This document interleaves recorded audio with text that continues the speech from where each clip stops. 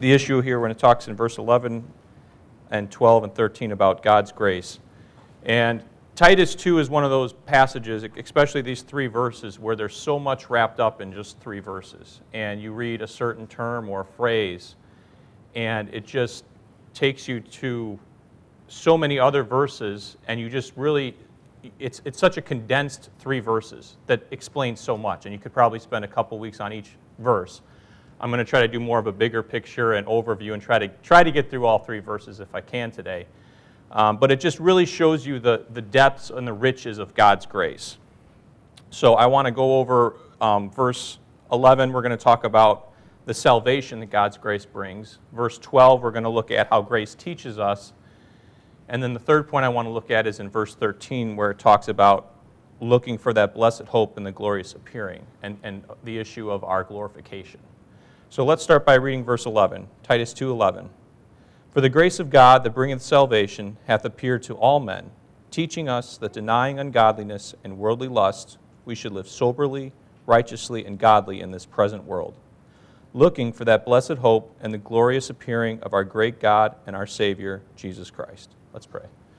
Heavenly Father, we thank you for this time where we can gather together to study your word. We thank you that you um, that we have the freedom in this country to get together to do this, that we uh, take this time and we uh, cherish it, that we, we soberly look at your word and allow your word to work out through us in our lives. In Christ's name, amen. So let's start in verse 11 there. The first thing is the issue of grace. So I remember, turn to 2 Corinthians chapter 8. Last year at summer camp, the, the theme was the issue of grace. And I remember with the kids, I just tried to go through this verse in, in 2 Corinthians chapter 8. And it talks about God's grace. And I want to start with this verse to just kind of emphasize what God's grace is. And when we talk about the riches of God's grace, what we mean by that. So in 2 Corinthians chapter 8, verse 9, it says, For ye know the grace of our Lord Jesus Christ, that though he was rich, yet for your sakes he became poor that ye, through his poverty, might be made rich. And so you see that the issue of grace doesn't come from our abilities. Rather, we were, we were poor, it says. But you see the sacrifice that Christ made and that he became poor so that he could give us his riches and his grace. And so grace is a powerful thing. And a lot of times you, the word grace, you have God's riches at Christ's expense. And that's what I always was telling the kids. What is, what is grace? It's God's riches at Christ's expense.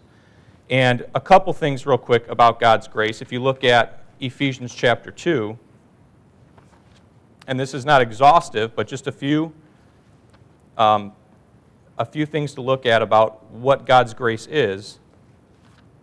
Ephesians 2, verse 8 For by grace are ye saved through faith, and that not of yourselves, it is a gift of God, not of works, lest any man should boast. So the first thing we can, we can know for sure about grace is Grace is not something that you, you buy, it's something that's given as a gift. God's grace is a free gift. In Romans 11, if you turn there,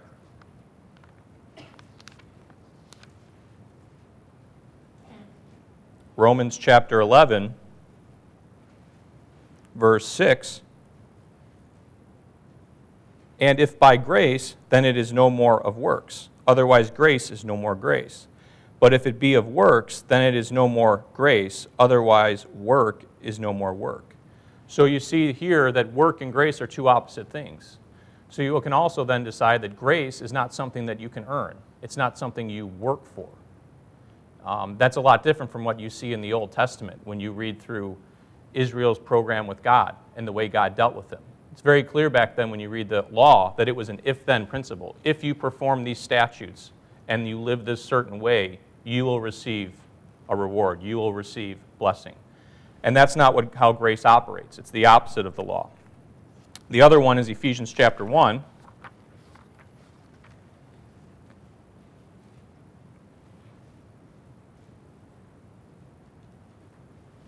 Ephesians chapter 1 verse 6 to the praise of the glory of his grace, wherein he hath made us accepted in the beloved. So you see, God's grace bestows upon the recipient the highest value of status and an unchanging relationship with God. See, God's grace doesn't just save you from, from hell and save you from your sins, but it's also giving you a status that He gives to His very own Son. In Matthew 3, He tells His Son, This is my beloved Son in whom I am well pleased. Now He's telling us here we're accepted in that beloved. So the identity that we have in Christ gives us the same status that God's only Son has. And we're a part of that now. So you can see just, and these are just three verses, you can see the, the depths and the riches of God's grace and where, how it affects us. And, it can, and we're going to see how it affects how we live, not only now, but our focus in the future. And the reason I bring that up is because if you go back to Titus 2, or Titus 3, so in Titus 2, it says that the grace of God that bringeth salvation hath appeared to all men. Now, when you think about God's grace appearing to all men, the first thing you got to think about is what is, what is it appearing to when you talk about man or mankind? Galatians 1 says that this is, we live in a present evil world, right? So the world that God's grace is appearing to is not a righteous and kind and worthy world that is deserving of God's grace. Romans 5 is very clear about that. It talks about how we were ungodly, how Christ died for us while we were sinners, how we were reconciled while being enemies of God. All these terms that are used to describe the world and man in his sin all point to us being undeserving of his grace. But that is what grace is about. It's that while you are poor, it's through what God is able to do through his Son to give you the riches that you don't deserve. So in Titus 3, you kind of get a summary of that in verse, start in verse 1. Put them in mind to be subject to principalities and powers, to obey magistrates, to be ready to every good work, to speak evil of no man, to be no brawlers, but gentle, showing all meekness unto all men. For we ourselves also were sometimes foolish, disobedient, deceived, serving diverse lusts and pleasures, living in malice and envy, hateful and hating one another. That's the status of the world. That's when it says God's grace appeared to man, that's, that's the man it appeared to. And that's all of us before we're saved. But verse 4 But after the kindness and love of God our Savior toward man appeared, not by works of righteousness which we have done, but according to his mercy he saved us by the washing of regeneration and renewing of the Holy Ghost. So you see, God's grace reaches down to man, and it appears to man at where man is, in their sinful state, when they're enemies to God. But I don't know if you've ever had conversations with other Christians before, or you maybe get into a theological debate or whatever it might be. But a lot of times you can talk to people, and I've noticed that you can come to a verse like Titus 2 where it talks about the grace of God that brings salvation to all men, and people will say, Amen, brother, I, I agree with that. But then if you, you talk to them a little more about the gospel, you find out that they're going maybe to a different part of the Bible to get their gospel. So when we're thinking about God's grace and specifically the salvation that appears to all, what is the salvation that's appearing? See, this is where it's really important that you're studying your Bible properly and that you're rightly dividing. Um, and I just want to spend a few minutes looking at this. Uh, look at 2 Timothy 2, and I'll just go right to make, make the first point here why this is so important, why there's a distinction. And in 2 Timothy chapter 2, or I'm sorry, chapter 1, 2 Timothy chapter 1, verse 11. The very first issue is Paul says, Wherefore I am an appointed a preacher and an apostle and a teacher of the Gentiles. Paul makes it very clear when you read through his passages that he is an apostle, he's a teacher, and specifically to the Gentiles. He makes that distinction time and time again. You have it here, you've got it in Ephesians chapter 3, you've got it in Romans. And so he's, he's pointing out something very specific a lot of times what we can do is I've seen when talking to people, a gospel is very general. And actually, if you ask people, do you believe there's more than one gospel? A lot of times people believe there is just a gospel. There is one gospel. But as you read through the scripture, you realize that can't be true. And I want to just point that out, prove that here. Go to Acts chapter, or I'm sorry, Matthew chapter 3 first. Because this is very important. When we talk about the gospel, the gospel means good news if we're talking about the good news that God has to give to us, and there's one, more than one good news, it's very important for us to know, well, first of all, the differences between those gospels, but also which one applies to us today. Because if we're talking about God's grace and salvation, if we're going to the wrong news, if we're going to the wrong letter that's not for us but for somebody else, we're going to fall short of what the gospel is. And you can't get saved if you're listening to the wrong gospel. So in, in Matthew chapter 3 here, you have John the Baptist. In those days came John the Baptist preaching in the wilderness of Judea and saying, Repent ye, for the kingdom of heaven is at hand. So here, look down at verse 5 Then went out to him Jerusalem and all Judea and all the region round about Jordan, and were baptized of him in Jordan, confessing their sins. So here, the gospel that John the Baptist is preaching, he's saying you have to repent and you have to be baptized, and it's all to do with the kingdom of heaven at hand. So you have some, some qualifications here to be part, to get in, in, in saved, but really what he's talking about here is being placed into that little flock. Look at Matthew chapter 10. What about Christ's earthly ministry? So John the Baptist comes and he does this. Matthew chapter 3, even Christ comes to John the Baptist and he gets baptized. But then look at Matthew 10 here, where, where Jesus commands his 12 apostles uh, as far as their earthly ministry goes here. In verse 5, Matthew 10 5, these 12 Jesus sent forth and commanded them, saying, Go not unto the way of the Gentiles, and into any city of the Samaritans enter ye not but go rather to the lost sheep of the house of Israel. And as ye go, preach, saying, The kingdom of heaven is at hand. So, two things here. One is, is, is the grace of, if, if you were going to try to apply Titus 2 to Matthew 10, how does that match up? If Titus 2 says it has appeared to all men, and Matthew 10 says, Don't go to the Gentiles, only go to the house of Israel, is that all men? It's clearly not. And again, the, a good thing to notice is in verse 7 where it says, The kingdom of heaven is at hand. Again, there's an issue of a kingdom, a literal physical kingdom that is about to come, that is about at hand, and that's why you have to get right. That's why you have to repent. So again, this is clearly not the same as Titus 2. Look at Acts chapter 2. Now, a lot of times we can, we can say, okay, well, then Christ died on the cross, and he died for all mankind's sins.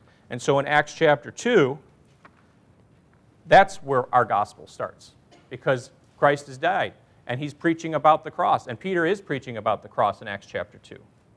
But it's important, again, that we pay attention to what is he saying exactly. So I'm going to kind of break into, into the context here for sake of time. But the whole chapter 2, you have Peter talking to Israel here. And again, so the focus is Israel. That's important to notice. And he's explained to him, he's giving them the case of Christ dying and what that means to Israel. So in verse 36, Acts 2:36, therefore let all the house of Israel know assuredly that God hath made that same Jesus whom ye crucified both Lord and Christ. Now when they heard this, they were pricked in their heart and said unto Peter and the rest of the apostles, Men and brethren, what shall we do? Then Peter said unto them, Repent and be baptized, every one of you, in the name of Jesus Christ, for the remissions of sins, and ye shall receive the gift of the Holy Ghost. So he's preaching about Christ, but you notice that if you read through this chapter and even chapter 3, what he's preaching about Christ is hey, it's not that Christ came, he died for all your sins, it's a free gift of salvation, you receive it by faith. He's saying, Israel, we just really messed up royally. We just killed our Messiah. This is the Messiah that all the prophets of time past had talked about, that was going to come to redeem his people, Israel.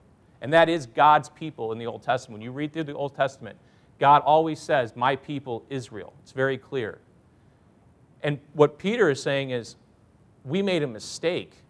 We just crucified our Messiah. Now we need to get right because he's going to come back in judgment if we don't. And so, again, the context repent, be baptized. Those are conditions. Those are things you have to do to work. And as we looked at in the beginning in, in Romans 10, verse 6, grace is not work. And as soon as you add a work to grace, it's no more grace. So you can't tell me that Acts chapter 2 and Titus chapter 2 are preaching the same gospel. And you can't tell me that the salvation that's being talked about in Acts chapter 2 is the same salvation that's talked about in Titus chapter 2. They're clearly different. And that's okay. There's different stuff in the Bible at different times to different people. It's a very it's, it's a concept that we all apply when you rightly divide, you're applying it to a, a, a, more precise measure. But I mean, even people that would maybe say they don't understand the right division issue, they're not going out and building an ark like Noah did. So they're obviously rightly dividing just in that simple sense right there. They're identifying information in the Bible that is factually true, that God wrote and commanded to man, but is not being applied today. So it's not a foreign concept, really. It's just understanding in a deeper sense what that means. So go back to Titus 2.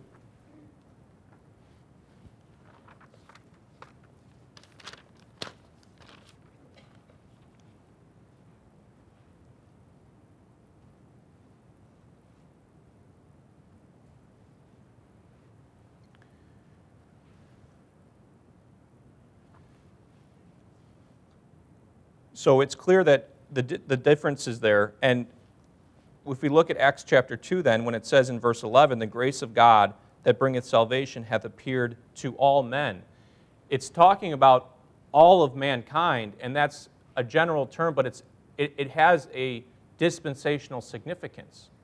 Because when we read it, read in Matthew, Mark, Luke, and John, and Acts, we realized that God's program was through Israel alone, and He came to Israel alone. So there's a dis- dispensational significance when he says it appears to all men. Because now the issue is not Jew and Gentile. God has put all man under sin. In Romans 5, it talks about that all have sinned and how that all have sinned in Adam, and yet through one, all can be made righteous. And so when Paul says that he is the apostle, look at, well, look at Acts 20 real quick.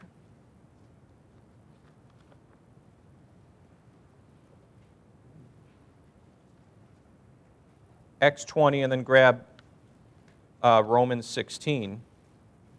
I just want to show a few examples where you can see a clear contrast between what, what Paul would have said and what the 12 apostles would have said, or even what, what Christ would have said in his earthly ministry. So in Acts 20, verse 24, this is Paul talking to the Ephesian elders. He says, But none of these things move me, neither count I my life dear unto myself, so that I might finish my course with joy and the ministry which I have received of the Lord Jesus to testify the gospel of the grace of God. So Paul is clearly saying, this is something I got directly from God, directly from the Lord Jesus Christ, and my ministry is the gospel of grace to the Gentiles. Look at Romans chapter 16, verse 25. Now, to him that is a power to establish you according to my gospel. So, there we have clarity again. It's, it's his specific gospel. He's not saying a gospel, he's not saying the gospel, he's saying my gospel. And the preaching of Jesus Christ according. Now, again, clarity. Paul was preaching about Jesus Christ and his crucifixion. But he says here, according to the revelation of the mystery which was kept secret since the world began. So, how do I know that what Paul is talking about in Romans 16 is different from what Peter was talking about in Acts 2? Well, in Acts 2, when Peter is making his case to the nation, he says, This is that which is spoken by the prophet Joel. What is he referencing to make his case? He's referencing Old Testament prophets. Paul here is saying this was kept secret since the world began. Old Testament prophets didn't know about this information. So it's very clear that what Paul is preaching is not the same thing that the 12 were preaching or what, what they were preaching in Acts 2. Turn one page uh, over to 1 Corinthians 17. In 1 Corinthians, I'm sorry, chapter 1. 1 Corinthians chapter 1, verse 17. This is another contrast between Peter and Paul, or, or Paul and, and Matthew through Acts 9. Verse 17 For Christ sent me not to baptize, but to preach the gospel so it's very clear there by Paul, he's saying the baptism is not part of my gospel because he makes the, the contrast between baptism and gospel. I, wasn't, I did not come to, to baptize, I came to preach the gospel. Well, when you read what John the Baptist said in Matthew 3, you read what the, the 12 said in Acts 2 and Acts 3, it's saying, repent and be baptized, repent and be baptized. Even up into Acts 8, when Philip speaks to that eunuch, he goes down to the water and he gets baptized. So it's very clear that that gospel that they are preaching is not the same gospel that Paul is preaching. And then I think the way to finalize that is go to Galatians 2. And I think Galatians 2 is a very clear way of showing not only that there's a contrast, because you know, you could, you could read all that and you could say, well, that's confusing, and why does God make it so complicated, and why does he have all these different things going on? But, but God has order and God has design. And in Galatians 2, you see that in, in play. You see the order between the ministry of the apostles, the 12 apostles in Christ, and, and the little flock, and you see the ministry of Paul. And in Acts 2, verse 6, uh, I'm sorry, Galatians 2, verse 6. But of these who seem to be somewhat whatsoever they were, I make, it maketh no matter to me. God accepteth no man's person. For they who seemed to be somewhat in conference added nothing to me. But contrariwise, when they saw that the gospel of the uncircumcision was committed unto me, as the gospel of the circumcision was unto Peter. So it's very clear, Paul's saying there's two gospels here. There's the gospel of the uncircumcision, and there's the gospel of the circumcision. One's committed to me, the gospel of the uncircumcision, and one is committed to Peter, the gospel of the circumcision. And you read this and you realize they come to an understanding and an agreement. Okay, I'm going to go to the, the Gentiles, and Peter, you're going to continue your ministry you have with the little flock. You're going to see that through. So in, Act, in, in Titus 2, when it says that God's grace, the salvation that bring, salvation that appeared to all men, God's grace now appears to all men on one level playing field. It doesn't matter whether you're Jew or whether you're Gentile. Ephesians 2 says, For by grace are you saved through faith, and that not of yourselves, it's a gift of God, not of works, lest any man should boast. And that middle wall of partition is broken down. He, has, he has abolished that, and he's been made peace in one, and he's allowed us all now to be reconciled to God. You're either, God doesn't see you as a Jew or a Gentile, He doesn't see your race or your ethnicity anymore. In the age of grace, God sees you either in Adam and in your sin, or God sees you in his Son and a new creature. It's one or the other. And by the way, God's will in 1 Timothy chapter 2, this ties in with Titus 2 there when it talks about it appearing to all men.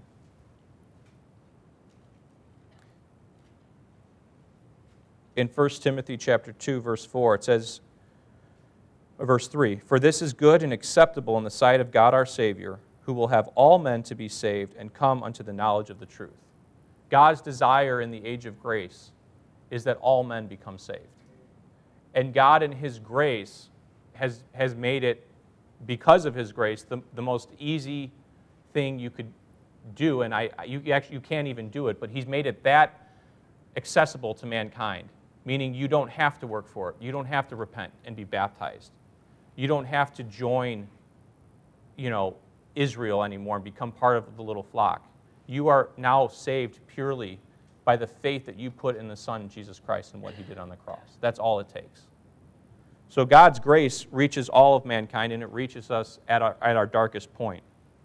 So let's look at the, the next point. Turn to Titus 2, verse 12.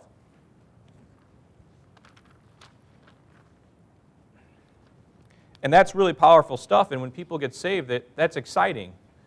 But what happens a lot of times when we get saved and we get excited about that, that grace and understanding we're saved, we say to ourselves, well, great, now I, now I can live that perfect life that Jesus wants me to live.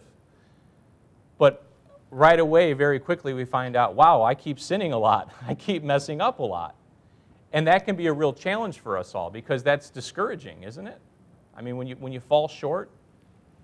And so, chap, uh, verse 12 is so important because it talks about grace teaching you something now. And so the first thing we'll look at, let's, let's read the verse. It, verse 12, teaching us that denying ungodliness and worldly lust, we should live soberly, righteously, and godly in this present world. And the first thing is it says, teaching us that denying ungodliness and worldly lust. What is the ungodliness and worldly lust? Just look real quickly at Ephesians 2.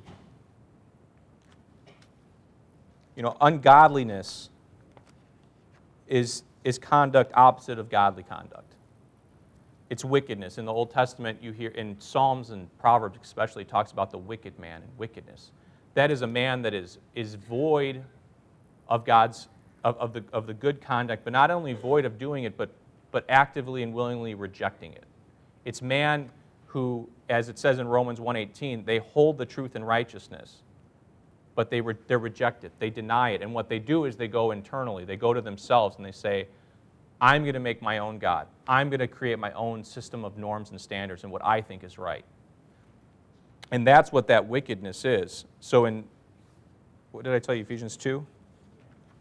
Ephesians 2, verse 2, wherein time past you walked according to the course of this world, according to the prince of the power of the air, the Spirit that now worketh in the children of disobedience, among whom also we all had our conversation in time past, in the lusts of the flesh, fulfilling the desires of the flesh and of the mind, and were by nature the children of wrath, even as others. That's what it's talking about. When it says denying ungodliness and worldly lust, the ungodliness is, is, a, is a willful rejection of God and his stature, statute and standards. And the lust is living in that sin cursed world that we're all, as an unsaved person, we are all held bondage to. Because we are, we are only programmed to walk according to the course of the world.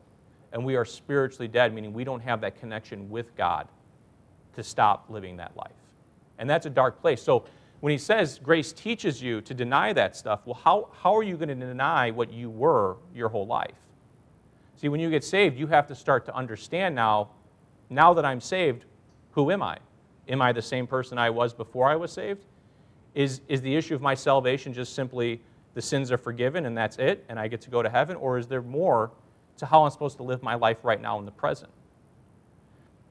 So grace teaches you about that present life, that sanctification, and that's a sanctification issue. And that's something that's so challenging to understand because people get saved and then the sanctification comes in and they think they have to work and they have to earn and they have to prove their salvation. And people start to add works back into the situation. And then that confuses them and makes them start to question their salvation that they were first saved with by grace. So understanding how grace is going to teach you is going to save you from falling into that trap of legalism again, putting yourself back under the law. So look at 1 Thessalonians chapter 2. 1 Thessalonians chapter 2. So grace is going to teach us something. It's going to teach us about who we now are in Christ. And in in 1 Thessalonians chapter 2 verse 13. So just like we saw ungodliness is, is wickedness and is, is the opposite of righteousness and is rejecting God's truth and his word. Look at 1 Thessalonians 2.13. For this cause also thank we God without ceasing, because when ye received the word of God, which, which ye heard of us, ye received it not as the word of men, but as it is in truth, the Word of God. So, how did they perceive what they heard from Paul? As just another philosophical book or a, a thinking on how to have a good, successful life? Or did they acknowledge it as something more than what man wrote? You see that? That's the opposite of what we do as sinners and when we, with our pride, reject God. God's word, while we have a tendency to reject God's word because of our pride, God's word has the power to convict us to our heart and our soul. That's what Hebrews 4 says, and that's what 2 Corinthians, 2, uh, 2 Corinthians 4 talks about. So you see that they received it as the truth, as it is in truth, the Word of God. They acknowledged that what they were reading was God's and it was truth. And to do that, you have to reject your, your truth, as, the, as people would say today. You're accepting something bigger than you you're acknowledging that that's an authority that you're subject to. And that's important. And then the next point it says, which effectually worketh also in you that believe. The way God's word works effectively in you is by truth, by acknowledging that truth.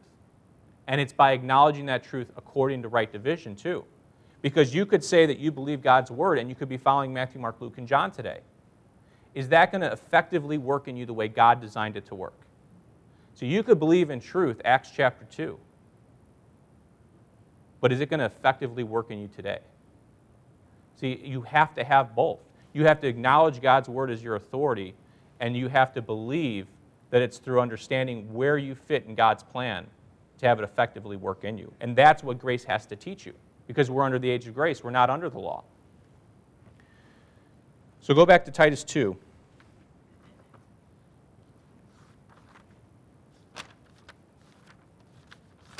Titus chapter 2.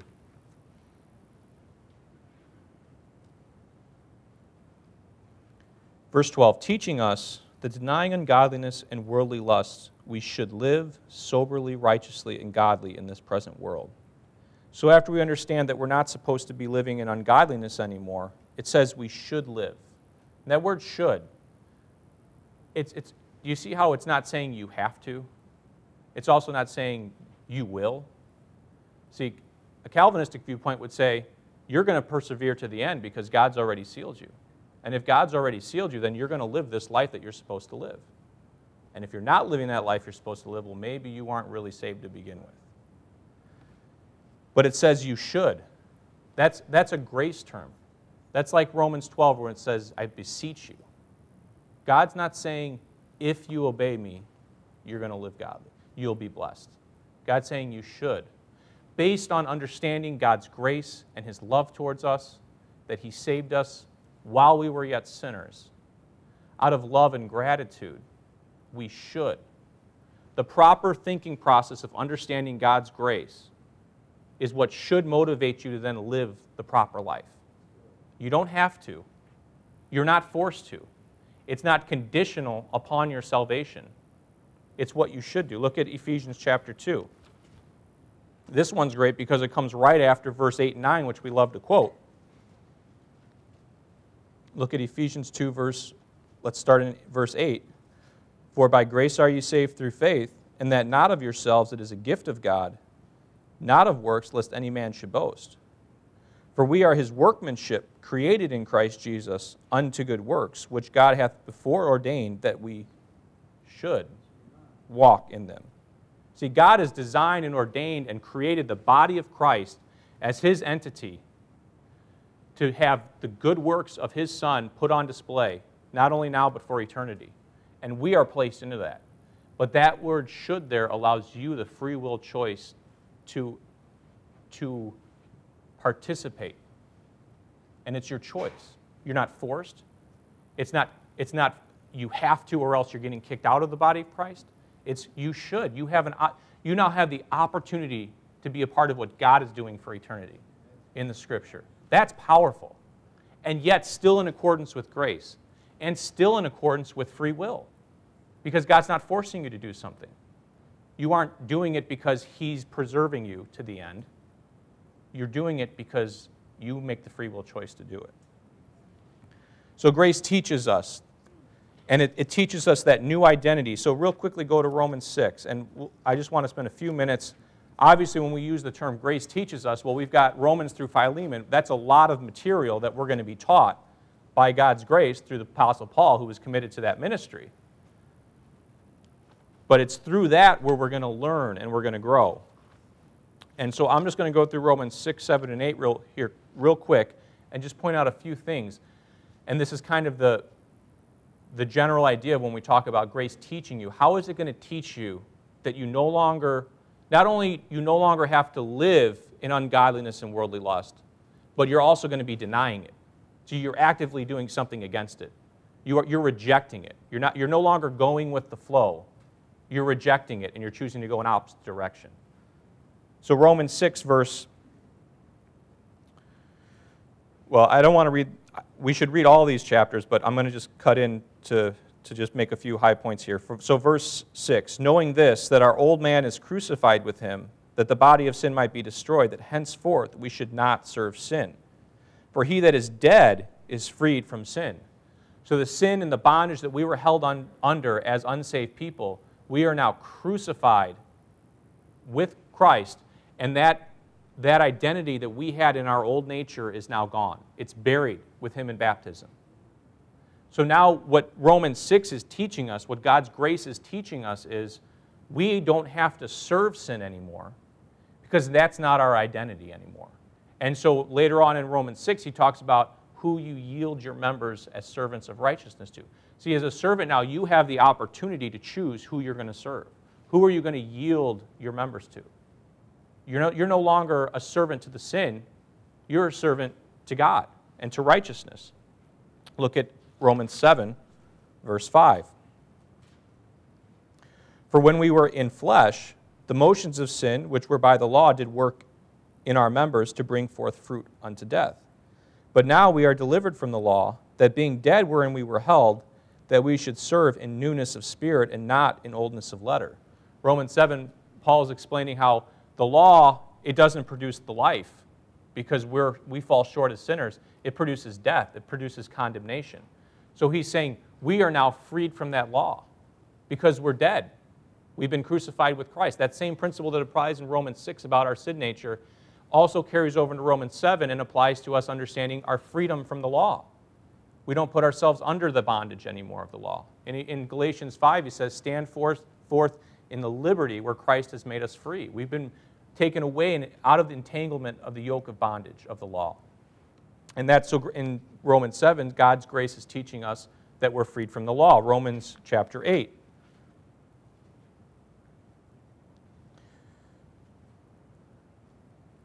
Verse Romans 8:11. But if the spirit of him that raised up Jesus from the dead dwell in you, he that raised up Christ from the dead shall also quicken your mortal bodies by his spirit that dwelleth in you. Therefore, brethren, we are debtors not to the flesh to live after the flesh. For if ye live after the flesh, ye shall die. But if ye live through the Spirit, do mortify the deeds of the body, and ye shall live. For as many as are led by the Spirit of God, they are the sons of God. For if ye have not for ye have not received the spirit of bondage again to fear, but you have received the spirit of adoption, whereby we cry, Abba, Father. And Romans 8 goes through and tells us that not only are we freed from the curse of our sin and the curse of the law, but we are given a new life and we are now alive in the Spirit. We now have the power of God's Holy Spirit inside of us, giving us a relationship, a personal, intimate relationship with the Lord Jesus Christ, where we can cry, Abba, Father. And now we have the opportunity to walk in that newness of life, a life we didn't have before. Look at 2 Corinthians chapter 5.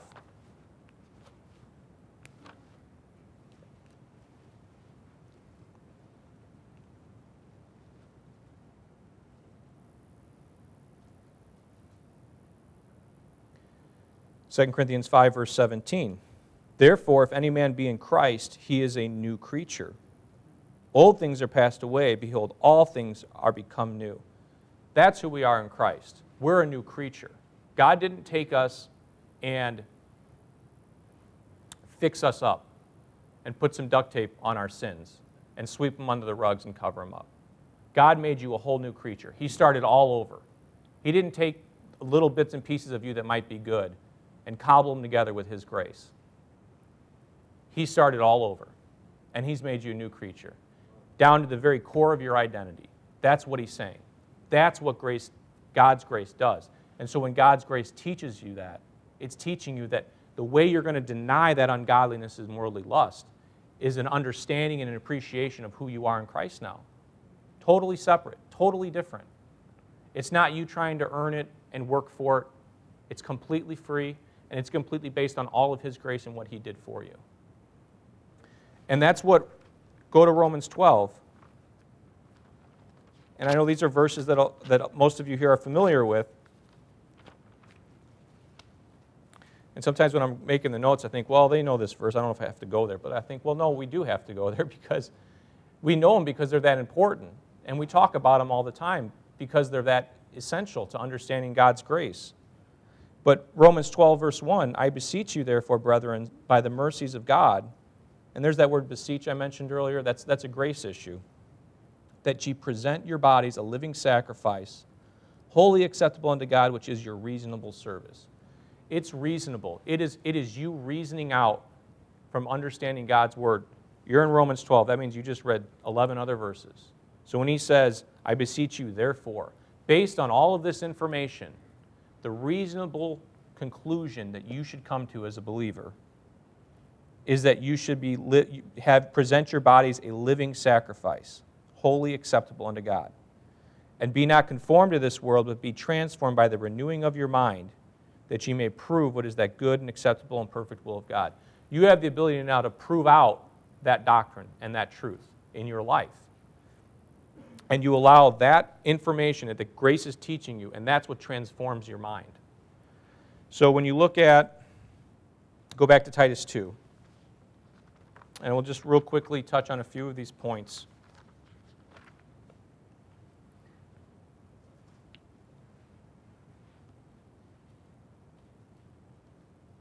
In Titus 2, verse 12, teaching us that denying ungodliness and worldly lusts, we should live.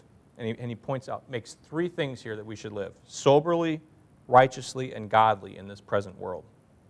So the first one, soberly, turn, actually just look a few verses back at verse 7, Titus 2 7. In all things, showing thyself a pattern of good works, in doctrine, showing uncorruptness, gravity, sincerity, sound speech that cannot be condemned, that they that are of the contrary part may be ashamed, having no evil thing to say of you. So the idea of sincerity, uh, the idea of soberly is to be temperate in your use. You're not extreme, you're not wild, you're not all over the place, you're not being tossed to and fro by every wind of doctrine, you're not quick to anger, you're temperate, you're calm, but you're serious, you're, you're sober minded. Uh, look at 1 Peter. 1 Peter chapter 1. Actually, go to chapter 5. Just for time, we're going to go there. 1 Peter chapter 5.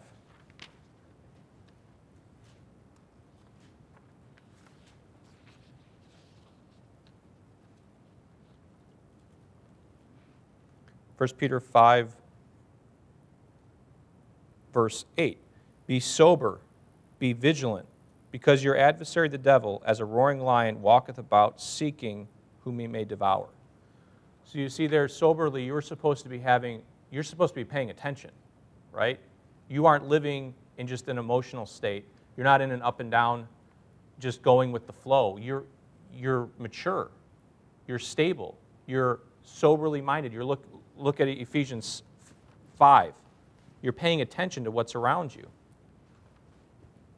Ephesians 5.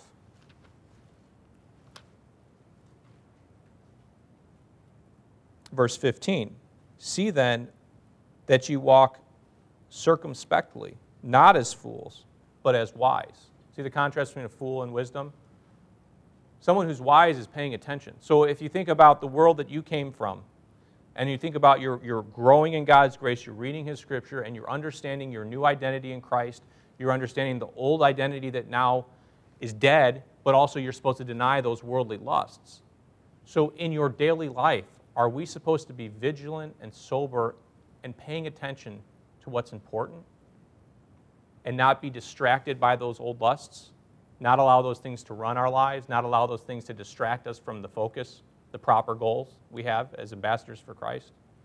So you see how to be soberly minded is something in your mindset. And it's, because the life you're living is in this present evil world still, right? He says that we should live soberly, righteously, and godly in this present world. And Galatians 1 says that world is evil. So you have this new identity, you have the Holy Spirit inside you. But if you aren't sober in your thinking, in, your, in the way that you're living, what are the chances you're going to fall right back into your old habitual habits? Pretty good, right? It's a, it's, it would be pretty easy for that to happen. Uh, look at so the other, the other one is it says that we should live soberly and righteously. Look at Philippians chapter 3. The, the issue of righteously. Living the right way, your conduct, your actions, the way you're living your life. Is it in accordance? Our conduct is supposed to be in accordance with who we are in Christ. So in Philippians 3 9, and being found in him, not having my own righteousness, which is of the law, but that which is through the faith of Christ, the, righteousness which is of God by faith. You see, the righteousness and your ability and your ability to have righteous conduct in life. Grace teaches you doesn't come from your works and your actions.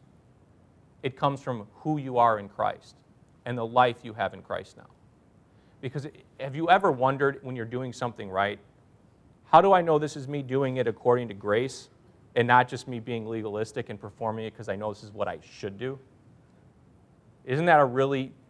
Is, I've, I've struggled with wondering how do I know which one I'm doing? Because I know the Bible says that if I'm doing it, it works, it's not grace. So if, even if I'm doing technically the right thing and it's not based off of a grace motiva- motivation, it's really wrong. It's, it's, it's not profitable to me or to God, really. But see, understanding the righteousness doesn't come from your righteousness, your output. It comes from who you are in Christ. So the idea of you having the proper conduct and righteousness is going to come from understanding, again, your identity. All this comes back to the identity issue. That's what's so, with grace, it always comes back to what He's done for you, what He's made you, and the abilities you now have in His Son to live the life. That's what it always comes down to. So now look at, we'll look at Galatians 2. This is, this is Galatians 2 if you think of what we've been saying about grace teaching you, Romans 6, Romans 7, Romans 8, a sober mind, walking circumspectly, all of those principles, Galatians 2.20, that is Paul putting that. That, that is the proper mindset and the proper application of all of that thinking. I am crucified with Christ, nevertheless I live. That's Romans 6.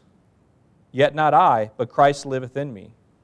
And the life which I now live in the flesh, I live by the faith of the Son of God, who loved me and gave himself for me. I do not frustrate the grace of God, for if righteousness come by the law, then Christ is dead in vain. See, the proper perspective is the life I'm living is not mine anymore to live because I'm applying all the doctrine I've been learning. I'm dead. The life I now have is Christ's. And if Christ is not ungodly and wicked and he is righteousness and he is godly, then that's what I should be doing because that's him. And now I'm him because I'm in him.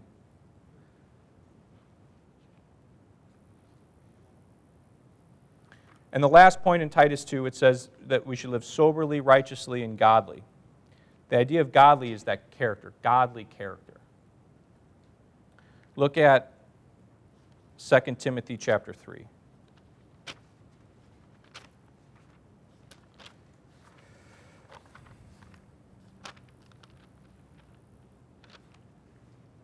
And for sake of time, I'm going to try to, I'm, I have not even gotten to the third point yet, and we got 10 minutes left. So, um, 2 Timothy 3, he starts out with talking about the world and, and, and the religious system and what it does. How it, it's got, in verse 5, it says that that system has a form of godliness, but denies the power thereof. Well, then look at verse 10. This is Paul saying, But thou hast fully known my doctrine and manner of life, and purpose, and faith, and long suffering and charity and patience. Paul is saying, You know my godly conduct, godly character. You've seen it on display. I, I am showing you, I am the pattern for what that's supposed to look like, what living godly looks like. And so turn to Titus 2, and let's try to squeeze all this in real quick. Verse 13 looking for that blessed hope and the glorious appearing of our great God and our Savior, Jesus Christ so, two things. It says, looking for that blessed hope. So, the issue of your glorification, look at Colossians chapter 3. You're looking for that blessed hope. Colossians 3:1 If ye then be risen with Christ seek those things which are above which Christ sitteth on the right hand of God and set your affections on things above not on things on the earth for you're, you are dead and your life is hid with Christ in God our, we are looking for that blessed hope because our affections are up there. Affection is what you're desiring. And if it's what you're desiring, isn't that what you're thinking about? So your thinking process is focused on the things above. So when you read in Ephesians 1 about how you're blessed with all spiritual blessings, and he says that the eyes of your understanding may be enlightened, he's talking about you focusing on, your, on the spiritual, not just who you are now in the present, but focusing on who you are in Christ and your eternal purpose He's created you to be a part of, that you've been ordained to. Look at Philippians 3.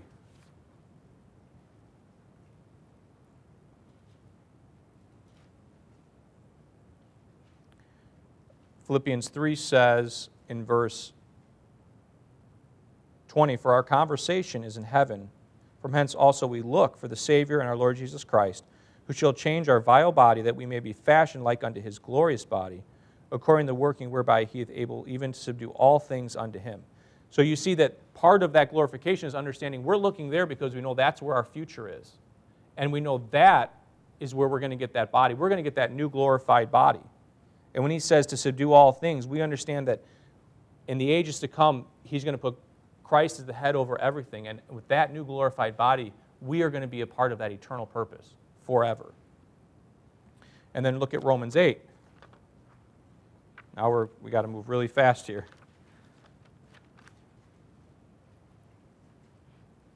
In Romans 8, verse 18,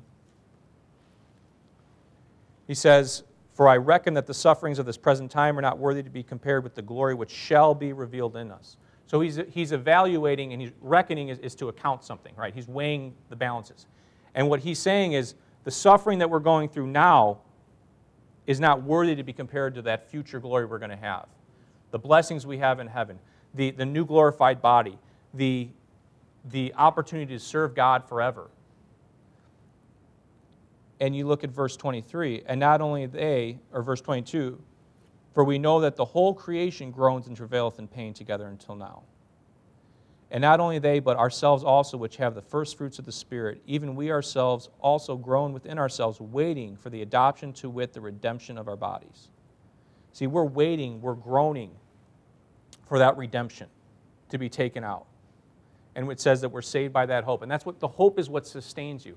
The hope is a future, a focus on the future and the end goal that sustains you during the present time. So, the idea of the glorification in, in, Titus chapter 2, verse 13, is we're looking, we're seeking, we're, we're setting our affection, we're adoring something that's future. And then, it, and then he says in Romans 8 here, we're eagerly waiting. So, when we're looking for that blessed hope, those are the things that we're supposed to be doing. And see, what's great about that is that then that produces the proper perspective on the present. And that's why Paul can say in in 2, Tim, 2 Corinthians 4 when he says the light affliction, which is but for a moment. It's because his perspective is on the eternal. That's the only way you could look at the light. The, the, the afflictions we live now are terrible. But it's the perspective he has of the eternal that allows him to have that, the proper mindset of the present. Same thing with in 2 Corinthians 12 when he says, when God says his grace is sufficient. In, my, in your weakness I am made strong. All of, all of that is, is the proper application of Paul taking God's grace and understanding it. And that's the challenge for us today. Look at, at Thessalonians, 1 Thessalonians chapter 4.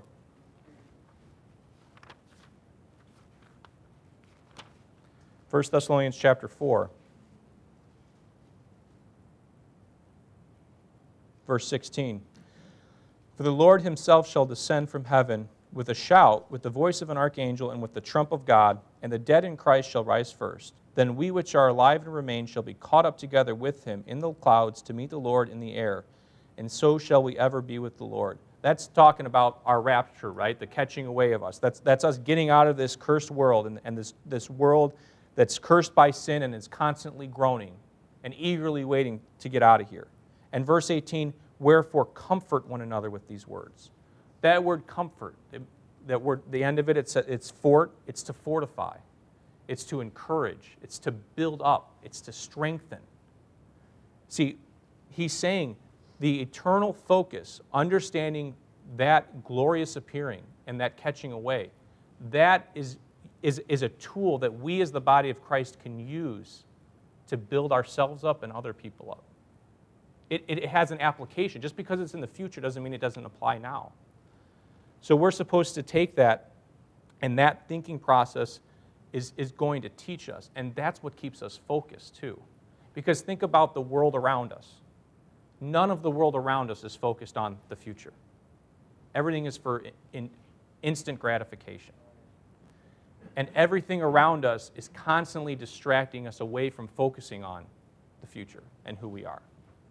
And so when we think about our sanctified walk, understanding your future glorification, which is certain, having a proper understanding and, and continuing to focus and be thankful and meditate on that is what helps sustain you in the future present sufferings.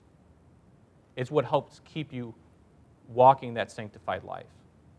And I, I wonder sometimes if part of the reason it can be a challenge to, to, to stay focused on your sanctified part is because the long term goal we lose sight of because we get distracted by the here and now, the daily grind. getting to work on time, all the things we have to worry about, our finances, all that stuff just distracts you. I mean, I, will I'll be honest, think and you think of yourself, how much of your day do you spend thinking of your eternal focus and future? I mean, it's because everything in your life is designed to make you think about right now. That's such a challenge, but that's why it says living soberly. Soberly minded is, is part of understanding how to make that work. Look at, look at 1 Corinthians 15, and we'll close here. 1 Corinthians 15.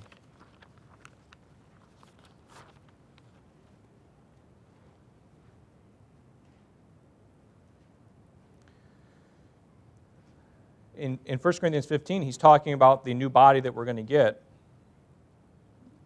He says in verse 53 For this corruptible must put on incorruption, and this mortal must put on immortality.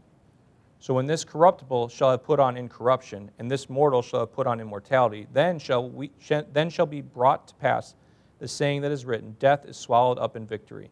O death, where is thy sting? O grave, where is thy victory? The sting of death is sin, and the strength of sin is the law. But thanks be to God who giveth us the victory through our Lord Jesus Christ. Now he says in verse 58, therefore. And I, whenever I see therefore, I always think, okay, he's He's been making a case, and now he's bringing it to a conclusion. And a conclusion, just like Romans 12, where it says, reasonable service. because of what I said, you should be reasoning through the, the facts. Therefore, this is what you should be convicted. This is what should, should move you. Therefore, my beloved brethren, be steadfast, unmovable, always abounding in the work of the Lord. For as much as you know that the Lord labor is not in vain in the Lord. You understand that focusing on that eternal allows you to then be steadfast and unmovable now and have that strength. So, when you think about God's grace and how it teaches us, it doesn't just save us, it teaches us, it gives us that new walk and that new life, and it gives us that new glorified body. And so I would just encourage us all to, to trust and rest in that grace and realize that when it says the unsearchable riches of God, and when it talks about the exceeding greatness of his power in the Bible, there's so much here that we have that we can seek out. And I would just encourage all of us to, to do that and take that seriously. Let's pray. Lord, uh, we thank you for your Son and your love and grace and how um, just the amazing wisdom you had and, and the way you designed the ability to save all, man, all men and do it through your Son and that what you ask of us is not, not working and performing and, and proving anything, but just simple faith and trusting that your Son was enough. And through all that, you, you can save us and still allow us the free will choice to choose to serve you, choose to accept that free gift. And we thank you for your mercy that, that we don't deserve, and we thank you for your, your love that we didn't earn and your grace that is never exhausted.